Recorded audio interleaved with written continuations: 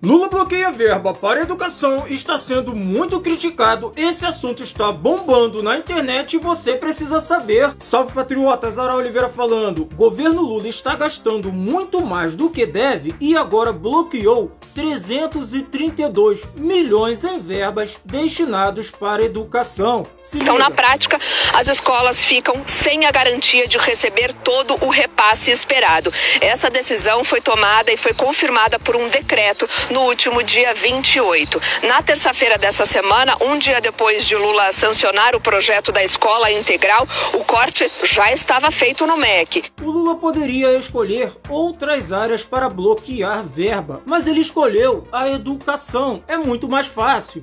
O ideal seria que os cortes ocorressem em outros setores, como, por exemplo, passagens aéreas, diárias, locação de imóveis, nas férias de 60 dias do judiciário, nos super salários e também na quantidade de assessores dos parlamentares.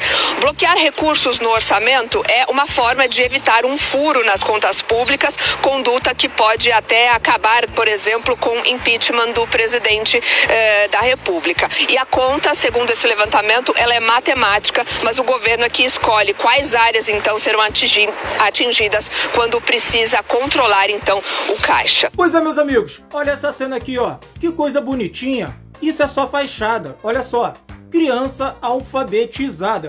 Esse governo gasta muito mais do que deve, irresponsável, e agora congelou as verbas destinadas para a educação. Eles poderiam congelar a Rouanet, por exemplo, mas os artistas vão ficar chateados e vão começar a falar mal desse desgoverno. Mas agora eu quero saber de você, a sua opinião.